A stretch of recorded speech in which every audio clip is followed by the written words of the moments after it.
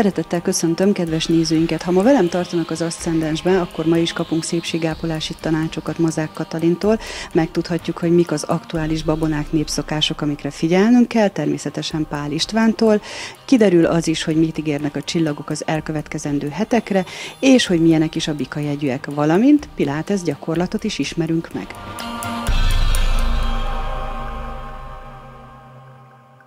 Rendszeres nézőink tudhatják, hogy Mazák Katalintól rendszeresen szépségápolási tanácsokat, tippeket kapunk, mind a modern kozmetikai eljárások terén, mind pedig a házi csodaszerek terén is. Most sem lesz másképp, nézzük, mit tanácsol nekünk ma.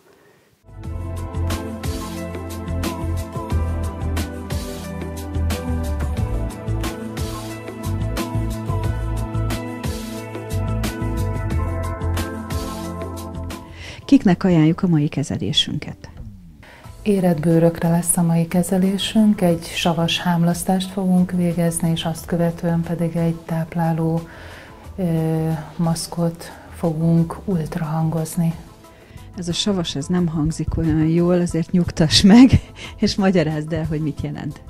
Nagyon régóta használjuk a kozmetikai gyakorlatban a savakat, azoknak a jótékony hatását, ugyanis bizonyos koncentrációk mellett újból tudjuk indítani a kollagén termelést, egy sokkal fiatalkor, fiatalabb kori állapotot tudunk összehozni ezzel a fajta kezeléssel. Tehát teszem azt, hogy 40 év felé haladunk, vagy az, azon túl vagyunk, a kollagén termelésünk jelentősen lecsökken, és ezekkel a kezelésekkel egy jóval korábbi kornak megfelelő állapotú és állagú kollagén termelést tudunk újból generálni, ezért szoktuk használni a kozmetikai gyakorlatban. Ez azt jelenti, hogy egyszer ilyen savas kezelést kapunk, és akkor hű jó, évekig ilyen remek kollagén termelésünk lesz, vagy pedig ezt azért időről időre presszionálni kell a bőrünket, hogy leszel szíves kollagén termelni. Hát sajnos időről időre azért emlékeztetni kell erre a ö, sorozatra a bőrünket, ugyanis a, magát az öregedési folyamatot, mivel génmanipulációt itt nem végzünk, ebben nem avatkozunk bele, tehát így mesterségesen szoktuk gerjeszteni ezt a folyamatot kozmetikai gyakorlatban. Erre milyen gyakran van szükség? Az pedig alapvetően mindig a bőr típusától, életkortól, életmódtól függ. Általában éves szinten egy-két kúrát szokott ez jelenteni, és mivel savakról beszélünk, ezért mindig figyelni kell a megfelelő fényvédelemről, tehát ennek megfelelően praktikusan mindig a kevésbé intenzív napsütéses időszakát célszerű kiválasztani az évnek a kúrára. Tehát akkor eljövünk, megkapjuk ezt a savas kezelést, ami hogy is néz ki? Tehát előzetesen letisztított, előkészített bőrt fogjuk savval bekenni. Milyen?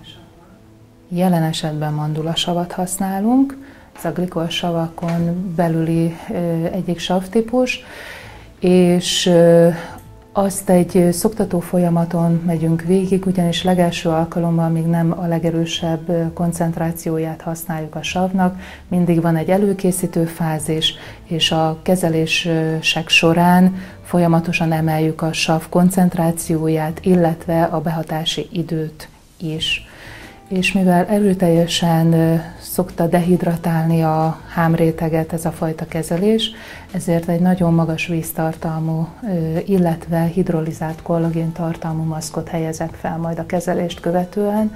Ezt be fogom ultrahangozni, hogy még fokozzam ennek a felszívódását.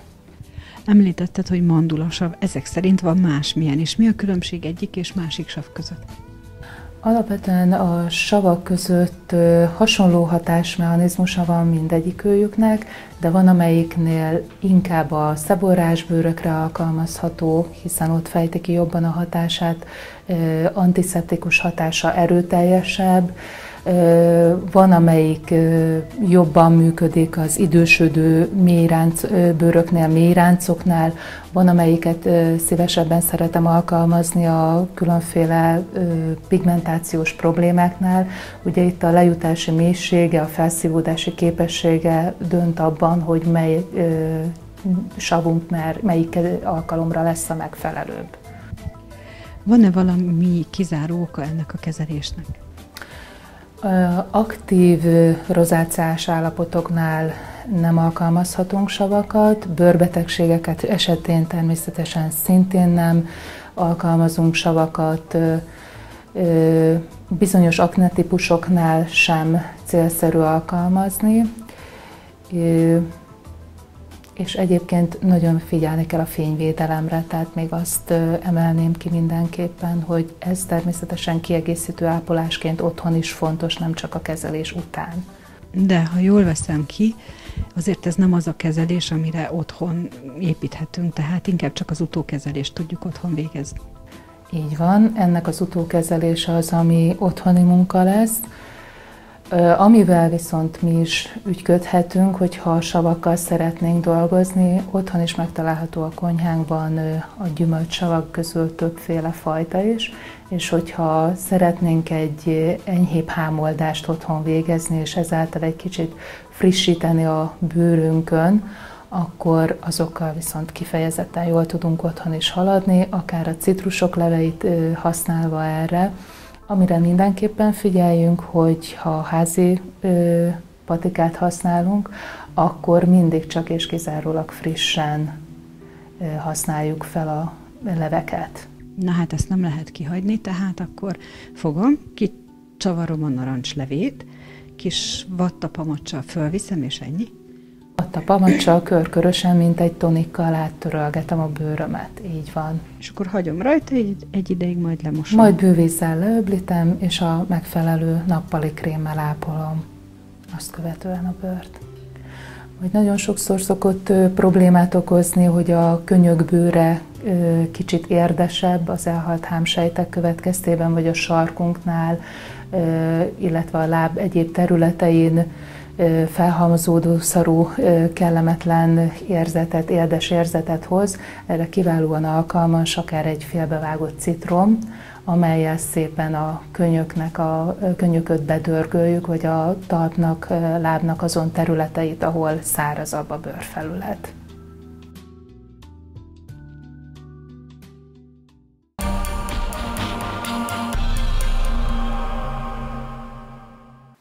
Dr. Pál Istvántól megtudhatjuk, milyen népszokások, babonák kötődnek ehhez a hónaphoz, illetve különböző rontás elhárítási technikákat is ajánl figyelmünkbe.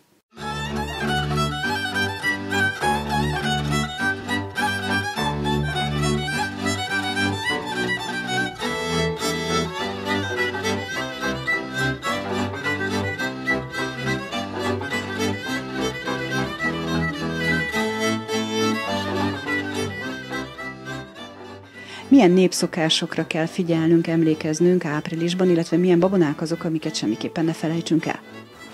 Az az érdekessége az idei évnek, hogy általában áprilisban szokott lenni a húsvét, kivéve amikor előtte van már márciusban, és ezért most nem sok áprilisi dolgot lehet elmesélni. De mindenképpen meg kell emlékezni az április 1 ha akár elmúlt már, akár nem múlt el az április 1 mert ez a bolondok napja, és mindenkiben benne van, hogy ilyenkor lóvá kell tenni valakit, valakit meg kell tréfálni, de ennek sokkal mélyebb gyökere van, hiszen a rómaiak idejében a naptárreform előtt ez volt évkezdő nap, ez évkezdő nap volt, és ugyanúgy, mint a szilveszter, meg a most is az új év napja, nagy zajjal, bolondozással, tréfával ütötték el ennek az élét. Mindenki örült annak, hogy elmúlt az új év, elmúlt az év, megkezdődik az új év. Ebből tulajdonképpen a bolondok napja maradt meg, amikor a inasokat, a mesterek, vagy inkább a mesterlegények elküldték valami hülyeséggel,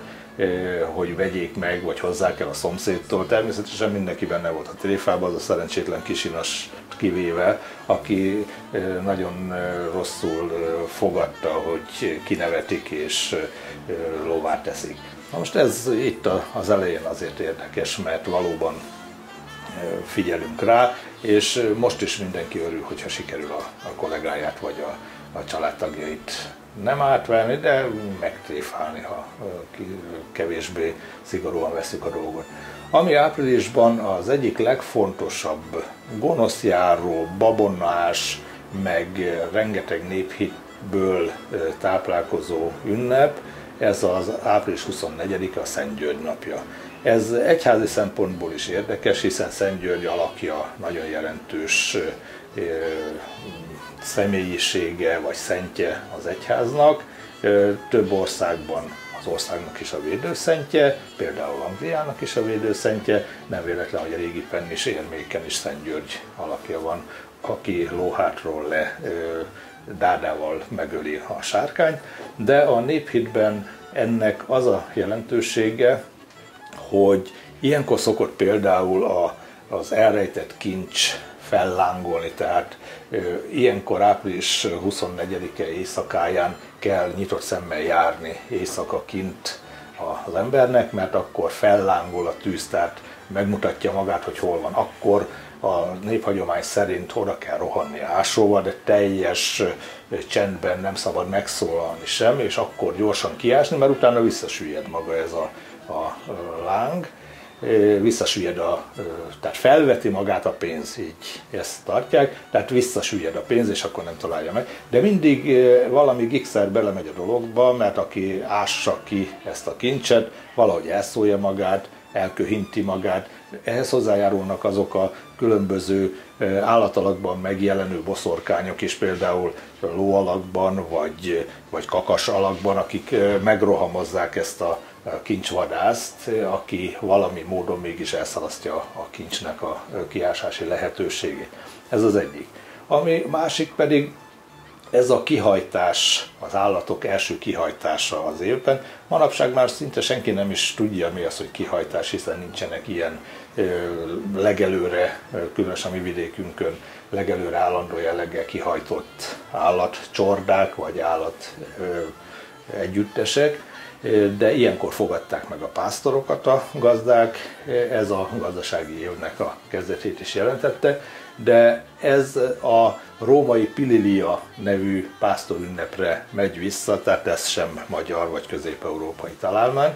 Ekkor a pásztorok a marháikat vagy az állataikat tűzön hajtották keresztül, hogy megtisztuljanak az állatok, meg a rontást elhárítsák az állatoktól, hiszen ez volt a vagyon. Tehát az állatok voltak a vagyon, ugyanakkor a pásztorok is átugrálták háromszor ezt a tüzet, vagy a füstölést is, vagy a füstölés által is pótolt tüzet, mert ezzel védték az állatokat attól, hogy a tejüket el ne vegyék. A magyar néphitben, vagy a népszokásokban, a mondákban benne van az, hogy ilyenkor a boszorkányok hőből rötösködnek, ez egy olyan furcsa szó, hogy ilyenkor nagy boszorkányjárás van, és elveszik a tehénnek a hasznát. Most megint a mai világban kit érdekel, hogy a tehénnek haszna van, azt se tudja, aki leginkább dobozban látja a tejet, hogy ez hogy születik.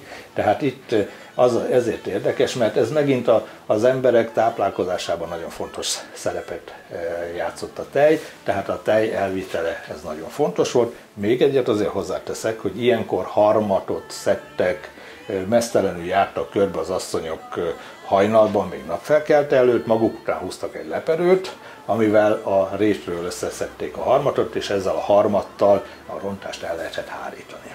Még egy érdekes vonása is vannak ennek a rontás elhárításnak. Ha úgy érezték a háziak, hogy megrontották őket, például elvitték a, a tehénnek a tejét, és az a személy a házhoz érkezett, vagy eljött a házhoz, akiről úgy vélték, vagy úgy gondolták, hogy ő ennek a rontásnak az okozója, akkor gyorsan vizet raktak föl egy fazékba főni a tűzhelyre. Amikor már az bugyborékosan fort, akkor késsel szurkálták ezeket a bugyborékokat. Na most az az átó személy, az ettől ilyen analógiás mágiaként rosszul lett, el kellett gyorsan távozni ebből a helyiségből, de ugyanakkor, amikor eltávozott, elvitte magával ezt a rontást is.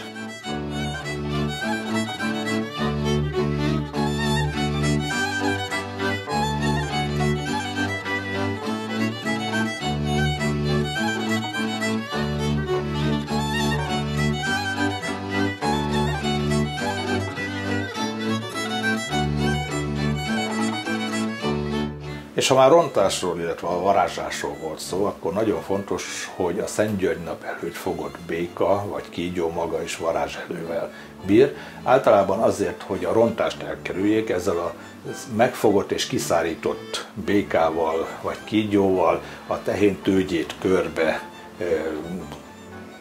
rajzolták, és ez a maga kör is, meg maga a béka is, meg maga a rontás is így kulminálódik, és tulajdonképpen ezzel elhárítják a még be se következett rontást, illetve a bekövetkezett rontást pedig eltávolítják az állatokról.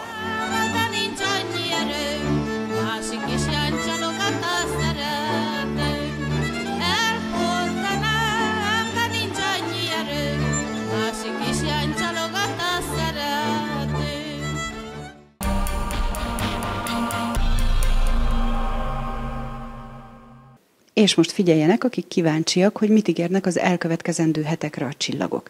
De ne felejtsük el, hogy a sors nem kényszerít, csak hajlamossá tesz. Ami nem tetszik, lehet elkerülni, ami tetszik, lehet elősegíteni. És még azok sem menjenek messzire, akik arra kíváncsiak, hogy a bika jegyű emberek milyenek.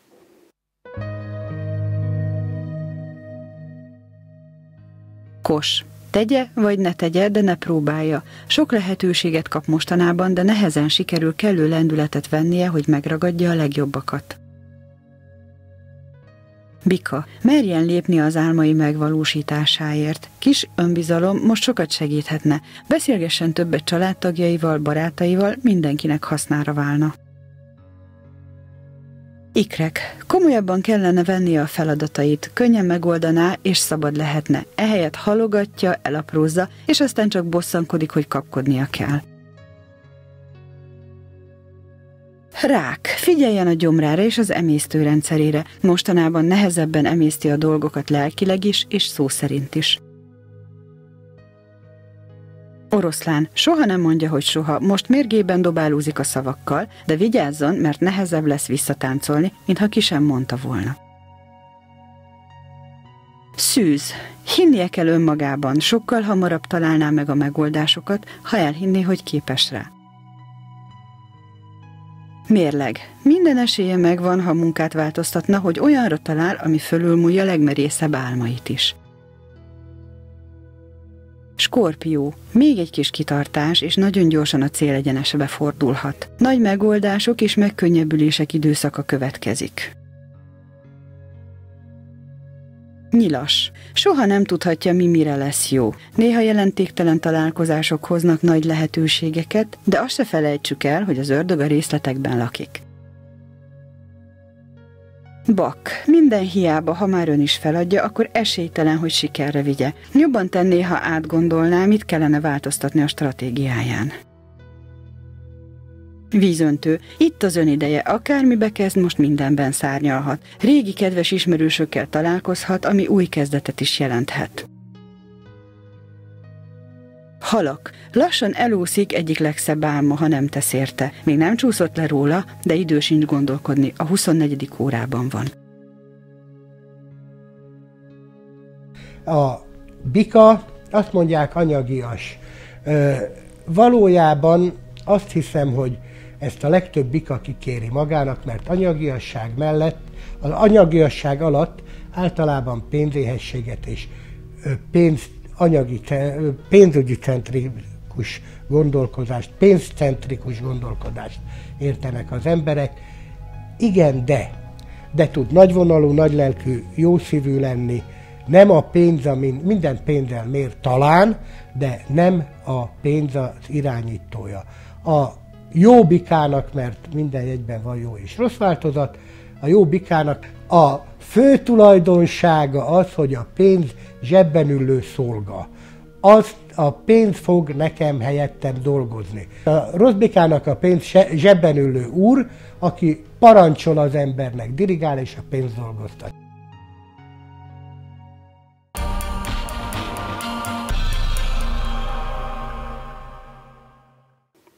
És akkor most a már elkezdett sorozatunk következő része jön, a Pilates gyakorlat. Remélem, hogy gyakorolják szorgalmasan, és már javult sokat a tartásuk, jobban lélegeznek, jobban érzik magukat. Remélem, ma is hozzájárulunk ehhez. A következő feladatnak a neve, hogy legördülés, egyenes a testtartásunk. Tehát Picit hajlítva van a térd, talpak a talajon nyugszanak, csípőszéles a terpesz, és a teljes bolt vagy a lábnak az íve az rend van a talajon. Nem billentjük a bokát se jobbra, se balra. Egyenes a testtartásunk, és tart a fej. orrunkon mélyen vesszük a levegőt, és a szádon fújod, és billented hátra magad, könyök oldalra néz, és engeded hátra magad kilégzésre, és megtartod. Aktív az erőközpont, egy kicsit megtartjuk, megint orrodon mélyen veszed a levegőt, szádon fújod és jössz föl, viszed oldalra könyököd, és egyenes a hát, és megtartod. Megint orrodon mélyen veszed a levegőt, szádon fújod, viszed hátra, és megtartod, végig tart az erőközpont, ezáltal válik hasizom gyakorlatlán, megint orrodon veszed a levegőt, és szádon fújod, billented vissza. Nagyon fontos, hogy nem kell teljesen legördülni. Orrodon veszed a levegőt, szádon fújod, billented hátra, engeded bele, azaz orrodon megint veszed, és hosszan szádon fújod a levegőt, és egyenes vagy.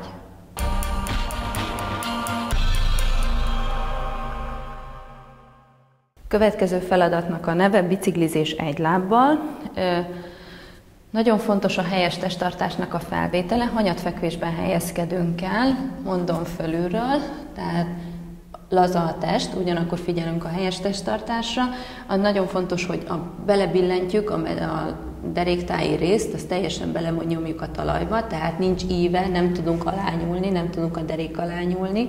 Rézsutas mélytartásban van a két kar, hajlítva van a láb, csípőszéles a terpez, és párhuzamosak a lábak.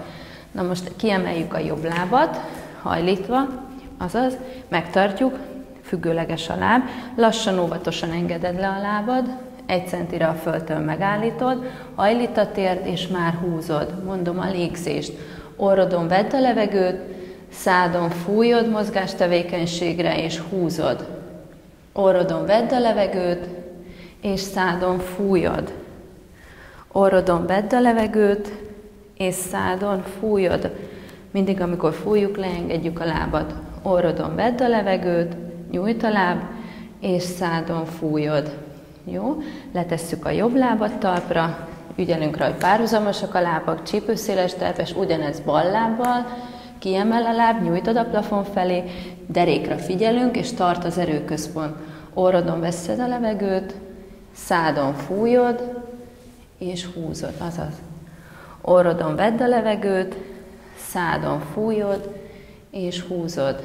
És még kétszer orrodon, szádon fújod, és húzod, és még egyszer orrodon, szádon fújod, és befejeztük.